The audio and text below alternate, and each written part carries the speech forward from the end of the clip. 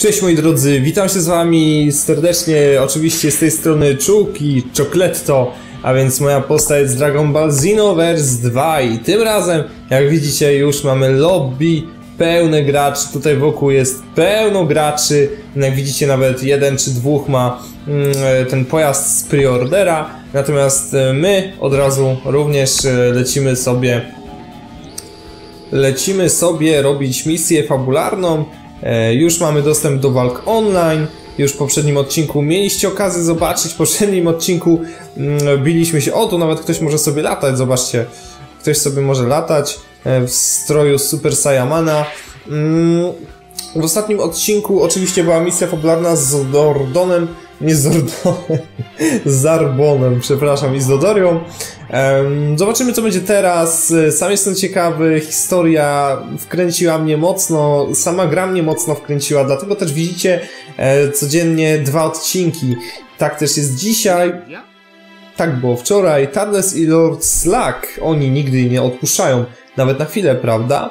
Dlatego musisz być w jak najlepszej formie. Chcesz wyruszyć na patrol czasu? Czekajcie chwilkę. Ja sobie tylko zobaczę, czy ja mogę jakoś mm, wzmocnić te swoje atrybuty w tym momencie. Tak. Eee, I ja bardzo lubię robić sobie takiego tanka z dużą ilością ki. Mm, Kondycja też się również nam przyda jak najbardziej. No i może te wyposażenie bojowe.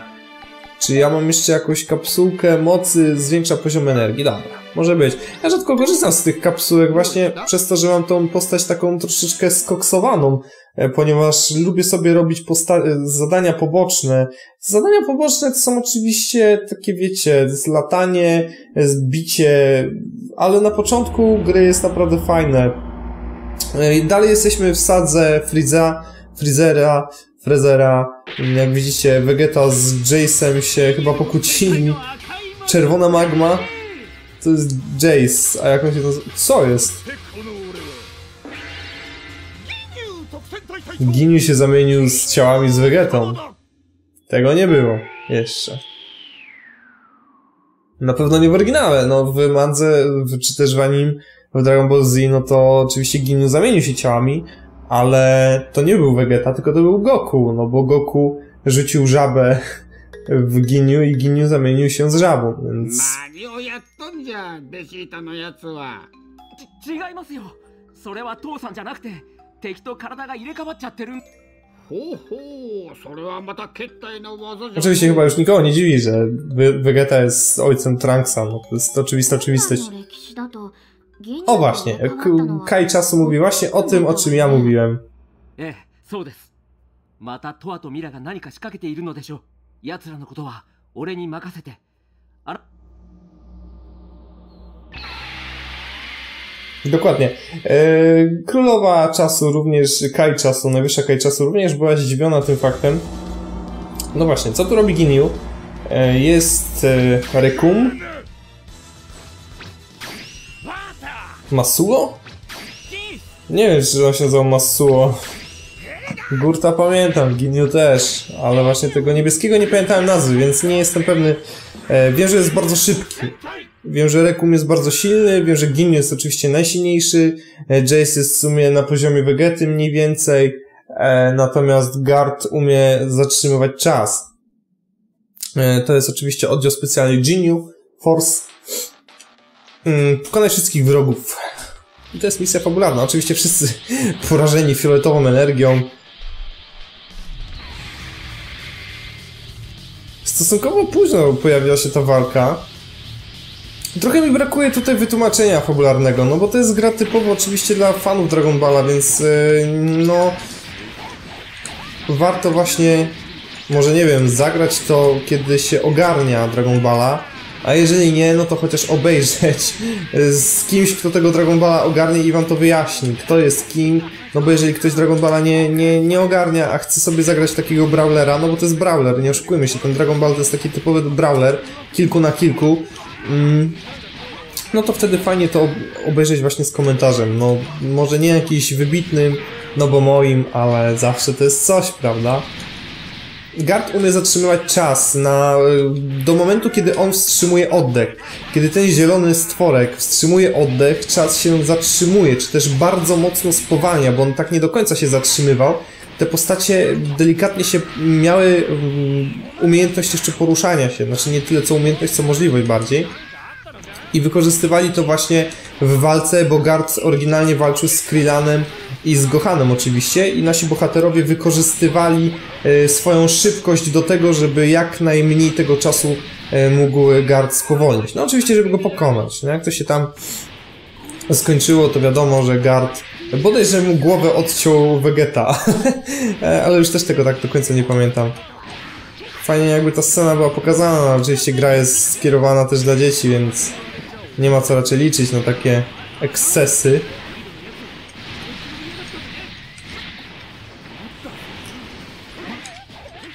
O, patrzcie, Rekum nawet coś tam, coś tam się odgraża. Rekum w tym, w tym momencie był znacznie silniejszy od Vegety.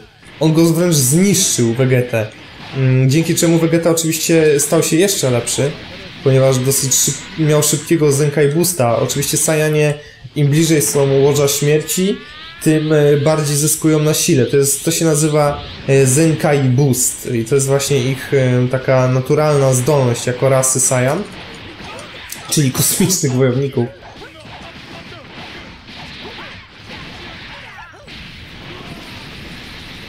Jak widzicie, ja stosunkowo rzadko używam y, kamehamy, a czy też y, działa czosnkowego, no bo po prostu wolę grać w zwarciu. Jakoś bardziej mi się podoba taka gra.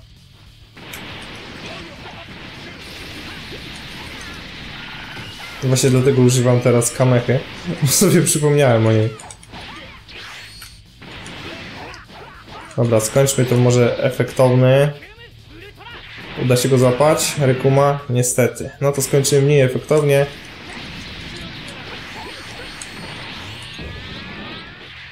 Mamy ja cokolwiek? Nie mam nic. To skończymy lamersko. Albo chociaż może tak się uda. Tutaj małego laga złapałem. Jest, koniec. A nie było to jakieś zbyt efektowne. E, Efektowniejsze byłyby te kiblasty, gdyby on, Rekum na mnie ruszył i ja bym tutaj użył jakiegoś E, może mu w twarz wystrzelił tymi kuleczkami. kuleczkami, to wtedy może by to było jakoś bardziej epickie. Dobrze, zobaczymy, co tam nam twórcy zaserwowali w historii dalej.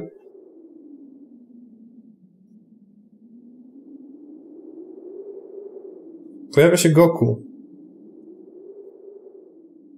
A Rekum...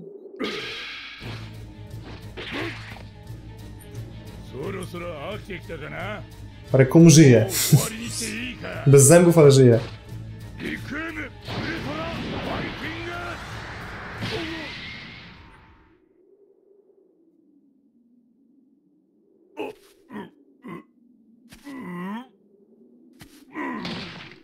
Ta gra ma naprawdę ładną grafikę. Fajną, jaką grafikę ma. Dobra. E, Bierzemy udział w walce Goku pomiędzy Jace a ten Masuo. E, Tutaj pamiętam Masuo, czyli ten niebieski podczas tej walki bardzo chwalił się e, w stosunku, mówiąc do Goku, że jest taki szybki, że jest naj, najszybszą postacią, najszybszą kreaturą w całym kosmosie, natomiast Goku go zniszczył pod względem szybkości, e, więc no oczywiście najszybszą tuż po Freezerze, tak? W ogóle te wszystkie postacie są tak kosmicznie słabe w porównaniu do już sagi Buu, a co dopiero do serii Dragon Ball Super, kiedy te postacie są jeszcze o wiele silniejsze, mega silniejsze. No ale jak wiadomo, mm, Dragon Ball miał Z, miał się w sumie skończyć na Zetce, Goku miał się okazać e, legendarnym super wojownikiem i to miał być koniec, czyli on miał być tym legendarnym SSJ-em i dalej już miało nic nie być, natomiast e, nie wiem, czy to fani, czy to twórcy, e, czy producenci, przepraszam, wymusili na Toriyamie kontynuowanie historii. No i bardzo dobrze, no. Dzięki temu e, mamy kolejne sagi, mamy kolejne serie i, i super, i chwała Bogu. Ja się bardzo cieszę. Niech tak będzie cały czas.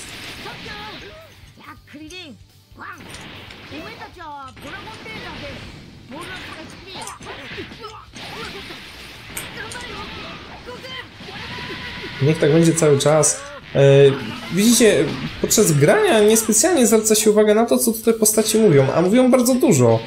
Oczywiście to są takie teksty w stylu, nie wiem, ruszajcie tam i tam, zróbcie to i to. Jest jakieś uzupełnienie do do historii, niemniej e, będąc wplątany w taki wir właśnie walki, niespecjalnie człowiek zwraca uwagę na to, co tam oni mówią. Zresztą to są takie wyświetlane slogany, niespecjalnie jakieś... Za, załatwmy Joyce'a. Nie, nie tym, nie tym. Aha, nawet nie miałem okazji. No dobra. Nagle cutscenka. O!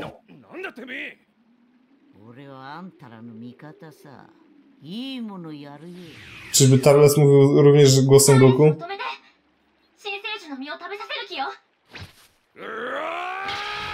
Jest ten magiczny owoc, o którym mówiłem. Jest jeszcze boost od y, Towy.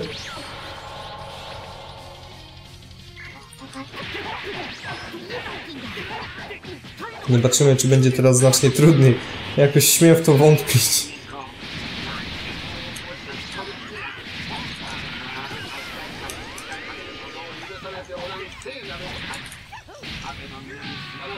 No właśnie, jakoś śmiem w to wątpić, że będzie jakoś znacznie trudniej.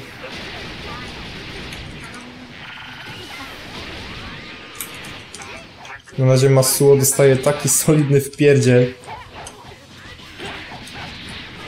O, no, no dobra.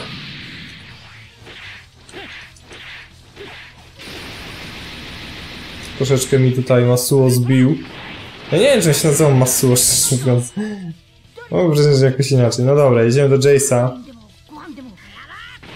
W ogóle Jace pojawił się y, oczywiście nie jako on, ale tak bardzo podobny wygląd miał w Busadze podczas turnieju takiego galaktycznego. W tle można sobie przeklatkować, tam się pojawia. To zresztą bardzo często y, w takich ciekawostkach był pokazywany Jace. I co? I co dalej będzie?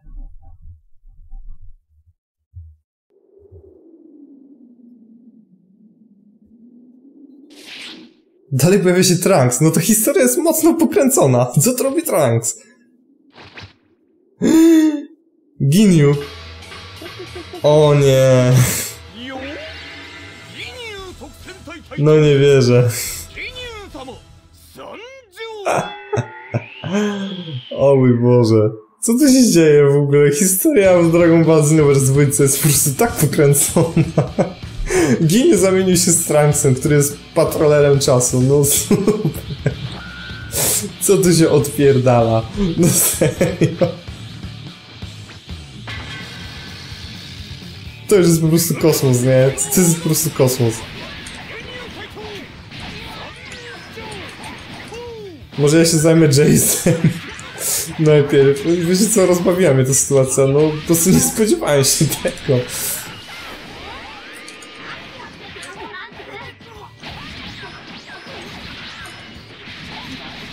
Serio. Jest, po prostu jestem w szoku. Nie wiem co powiedzieć. No wygląda na to, że Jace za, y, zamienił się z Trunksem.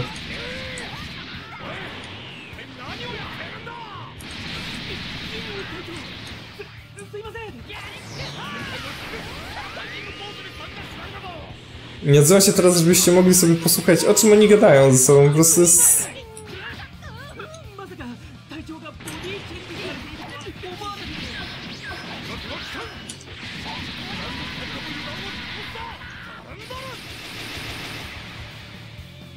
Ciekawe jest na serio. Co tu się będzie działo dalej? Kto tu się jeszcze pojawi? Giniu! Którym jest Trunks? Mega. Nawet się nie, nie odezwał, po prostu jest. Dobrze. No tak, Trunks chce swoje ciało. W ogóle Ginyu pojawił się również w Dragon Ball Super. Wiem, że często wspominam o tej serii. No ale w związku to jest, no w końcu to jest oryginalna, że tak powiem, kontynuacja e, kanoniczna wydarzeń z Dragon Ball Zetki, więc no, siłą rzeczy jest nowa, wychodzi na bieżąco, więc wszyscy oczywiście zainteresowani tematem e, no po prostu są na bieżąco. Saga aktualnie, Black Goku, bardzo fajna rzecz.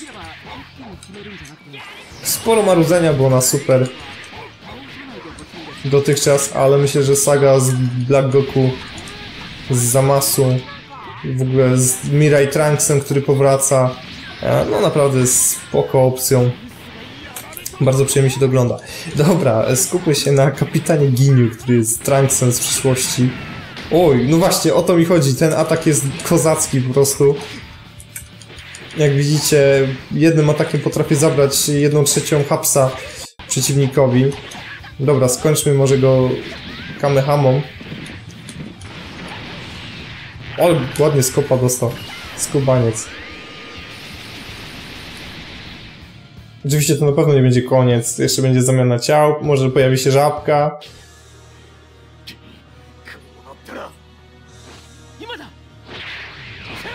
Tak. Jest zamiana. Nie wiem dlaczego Ginyu chciał się zamieniać z Trunksa na Goku, skoro Trunks to już był dawno super wojownikiem, tak? Czyli miał ten SSJ.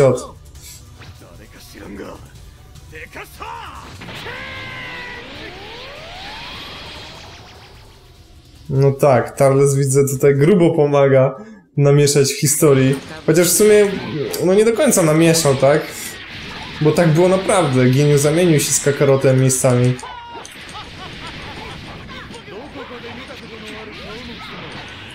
Więc w sumie tutaj Tarles bardziej pomógł w naprawieniu chyba historii niż przeszkodził. Oczywiście, no, zamiary miał inne.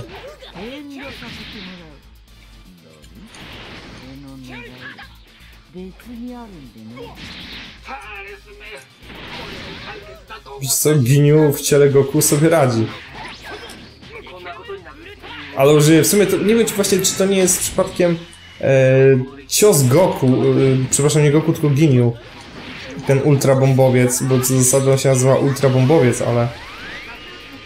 Mam wrażenie, że właśnie od Giniu ten cios posiadam i bardzo dobrze, bo jest świetny i on po prostu na dalszych, mm, dalszych że tak powiem, zadaniach równoległych czy też, e, nie wiem, w walce z Birusem, Whisem, bo przecież takie walki się pojawiały w Xenoversie 1, ale ten e, cios był wręcz niezbędny, żeby pokonać przeciwników.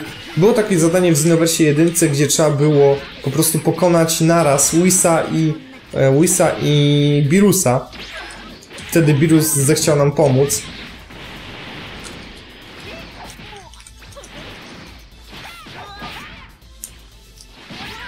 Hmm.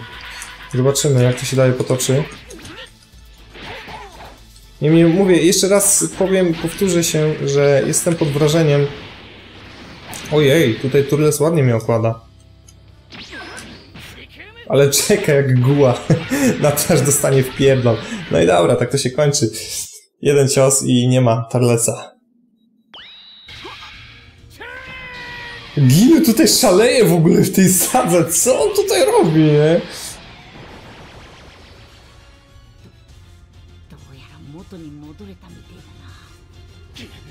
Giniu cały czas zmienia te ciała. Jest i żabka, pojawia się żabka. W ogóle ten atak Giniu jest zbyt OP. Nie wiem, miałem takie wrażenie, że jest po prostu zbyt hardkorowy. Giniu zbyt łatwo zamienia te ciała. No, Turles niestety się nie udało. Turles się wkurzył. W ogóle nie wiem skąd Tarles zna teleportację. nie wiem, czy to Towa go nauczyła, czy może Mira mu życzył trochę mocy, nie wiem, szczerze mówiąc. Jak to działa?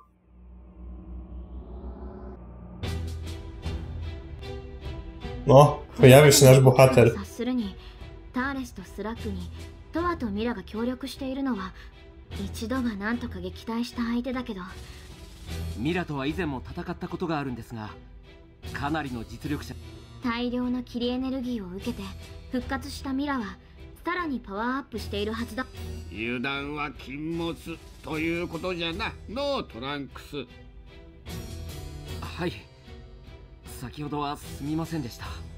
まんまとトアの罠に引っかかってしまいました。お恥ずかしい限りです。本当よもう。もう少しで歴史がめちゃくちゃになるところだったわ。トワの悪知恵もミラの力もあな俺たちは二人でミラを追います。